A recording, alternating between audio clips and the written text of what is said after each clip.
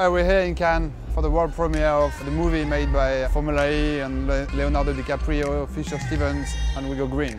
And we go green in Hong Kong. Green in New York City. Green. It's going to be a steep learning curve, but I'm pretty excited. The next race, you do a mistake. Biga is in the wall. People start thinking you're not good anymore.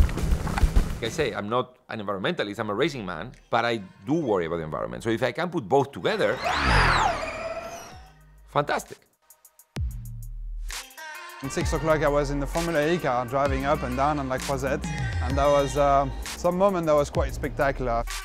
You know, Fisher had made several films with Leonardo DiCaprio on the environment. I, you know, I wanted to help Fisher in that, in any way I could about the environment. So you've got, you've got two things here. You've got the environment and a really exciting, dynamic sport. You bring the two together into a film, and it was one of the best experiences I've ever had.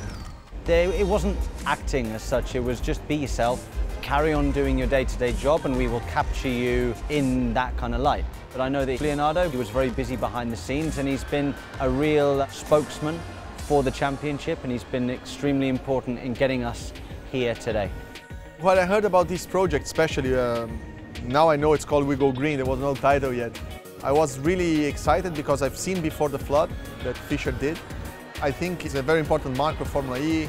It's uh, as important, I would say, as the first race, as important as manufacturers joining. It's just adding value to this championship that has a very, very bright future. It's awesome to, to present this in Cannes. It's a huge honor. We feel like movie stars for once in our lives. It's pretty special. We're going to go up the red carpet later on and uh, hope uh, it's going to be a great success. Well, I'm so proud to, to have joined a championship that could bring all of this together. First of all, a fantastic platform for racing, uh, for you know, pure sport. Another platform which is to bring a message of sustainability and to raise awareness uh, to the problem of global warming. That's not something I had the opportunity to do in the, in the past. To be here in Cannes the world premiere of a movie about this championship is something that no one really expected, and uh, I think it, you know it blows the mind of many people, myself included.